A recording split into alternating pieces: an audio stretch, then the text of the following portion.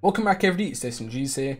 Today going to be breaking down what made Mr. Savage perform so well and take home second place in the DreamHack, bringing down a couple secrets of success that he's doing that no other players are doing, as well as what he's doing in-game to put himself in such good situations and pop off frequently. Hope you guys enjoy the video, make sure to like if you do, and I'll let it play. Yeah, this is making me nervous. I've never I've never seen somebody have 12 builds at this point in the game. He doesn't get a kill for a long time. Like a long, long time. What he does. The pad down there. Okay. Nice, good scout. Pad. So many people. Nice. Definitely goes ultimate low ground here, right? Yeah. Nice. It's correct play. Ever need a refresh? Just go low ground. It's also way freer.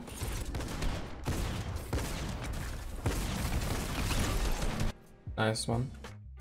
He kills XP's again. Oh, he gets so stacked off that.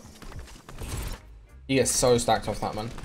And that's the thing, like, low ground, that literally happens the whole time. Where people just go low, and then you can find so many things down there. There's so many opportunities to get kills and everything.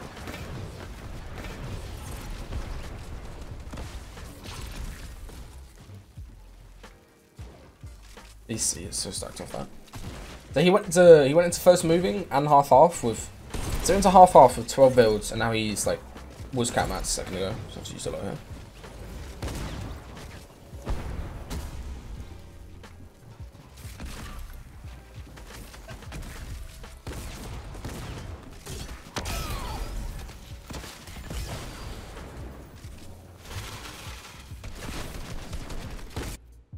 Oh, Taysom's get jumped on my teeth. Nice shots by uh, though. Comes the mats, gets control over everything, right? Important. Pepper on.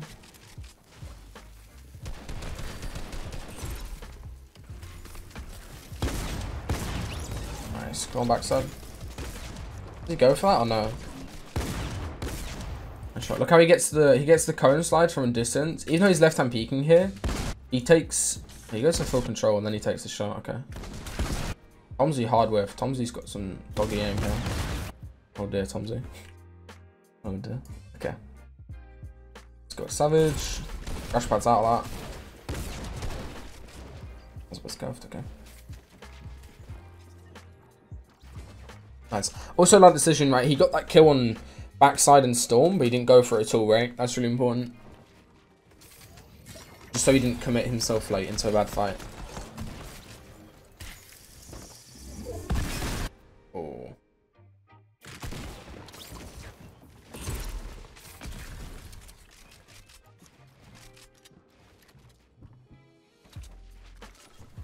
Nice man.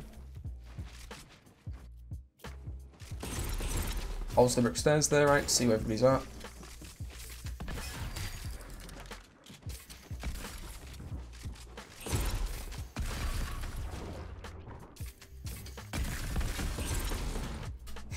What is this guy doing? What is this guy doing? Nice, good kill. I shot my teak. As long as he gets a kill out of this. There's absolutely no way. Does he just leave? Okay. You're glad he didn't walk in there.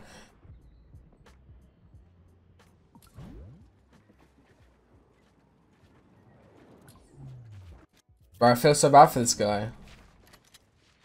This guy was supposed to you money, right? Surely.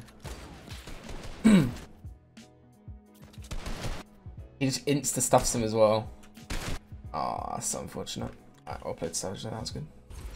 Crash pads over peppers? Yeah.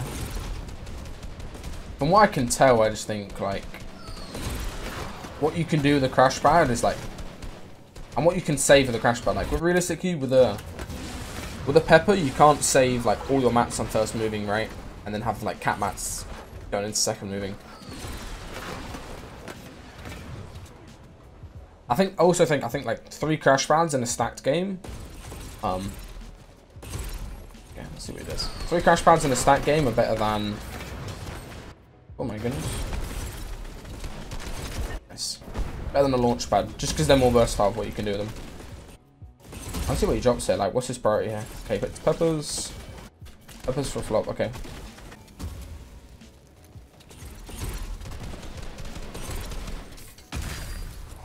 Oh my god. That guy just got shot, on I think. Oh, please don't die. Okay. That was almost that was almost really close. Okay, that was a nice play. Crash planning for height, like you can't really height take like that with a launch pad or peppers or anything, right? I know with peppers you could crank, but I didn't see anybody do that really in actual grand finals. Just because their mats would normally be shambles, right? What was that, man? Oh, was this Anas? Oh my god. Anas just made the god play, I think. Let me go watch his perspective.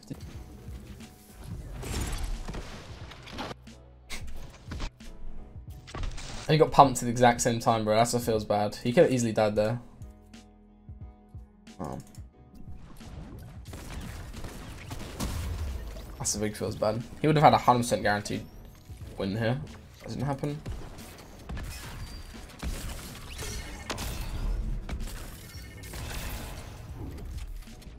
Yeah, now he's of sharks. What does Anas do? Did he do the same high take again? No. Nearly.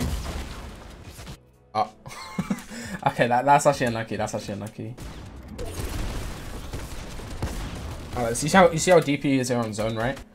Um, just this zone just allows him so much um space. So obviously it doubles back, which is quite good for him.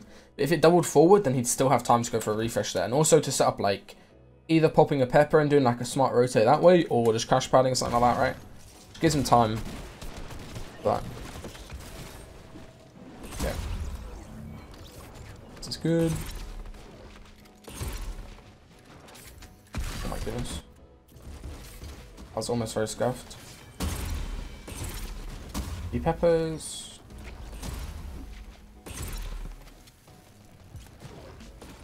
That's nice. Nice.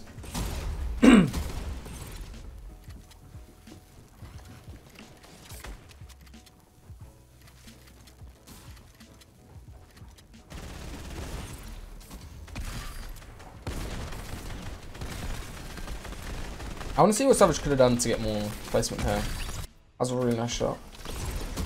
Does he commit for those mats? What do you guys think? Do you go for those mats there? I feel like a lot of the impulsive players, they will just jump straight on those mats, right?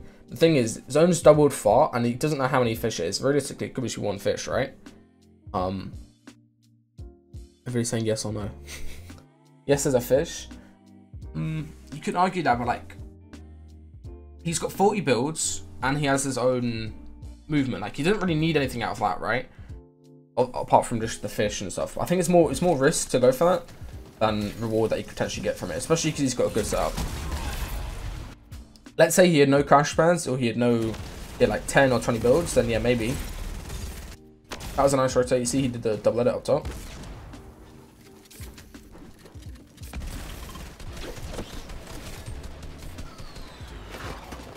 Nice, man. Bro, Savage is so fucking smart. You he turned that into a quick pad, right?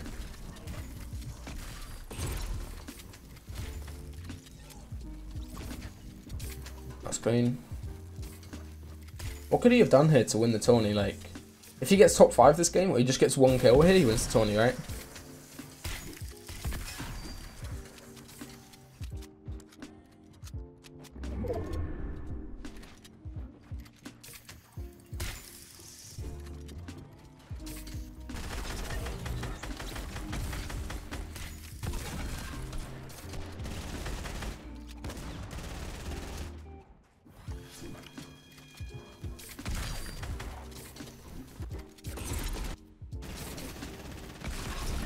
Oh, Nikov did, okay.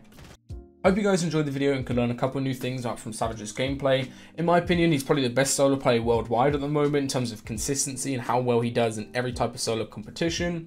As always, make sure to leave a like and subscribe if you enjoyed the content.